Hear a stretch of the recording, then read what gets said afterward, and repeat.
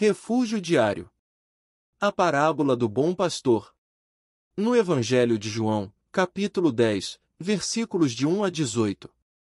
Nesta parábola, Jesus se compara a um pastor e descreve seu tom amoroso e protetor com as suas ovelhas. Jesus disse: Em verdade, em verdade vos digo que aquele que não entra pela porta do redil das ovelhas, mas sobe por outra parte, esse é ladrão e salteador. Aquele, porém, que entra pela porta, esse é o pastor das ovelhas. Para este o porteiro abre. As ovelhas ouvem a sua voz.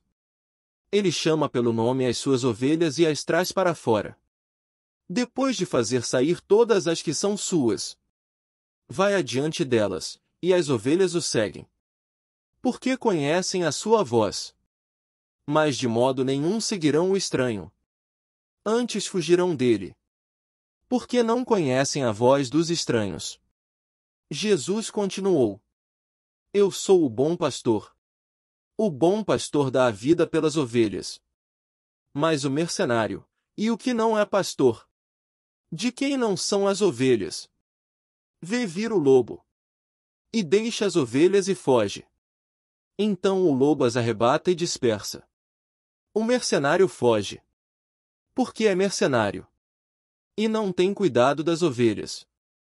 Eu sou o bom pastor. Conheço as minhas ovelhas e elas me conhecem a mim. Assim como o Pai me conhece a mim. E eu conheço o Pai. E dou a minha vida pelas ovelhas. E tenho outras ovelhas que não são deste redil. A essas também me importa conduzir. E elas ouvirão a minha voz. E haverá um rebanho e um pastor. Por isso, o Pai me ama. Porque dou a minha vida para reassumir. Ninguém me tira de mim. Pelo contrário, eu espontaneamente a dou. Tenho autoridade para dar e para reassumi-la. Este é o mandamento que recebi de meu Pai. Essa parábola retrata Jesus como pastor que cuida, protege e sacrifica-se pelas suas ovelhas, que são seus seguidores. Ele é retratado como alguém que conhece suas ovelhas intimamente e está disposto a dar sua vida por elas. Em contraste com os líderes religiosos da época, que eram como mercenários preocupados apenas com seu próprio interesse.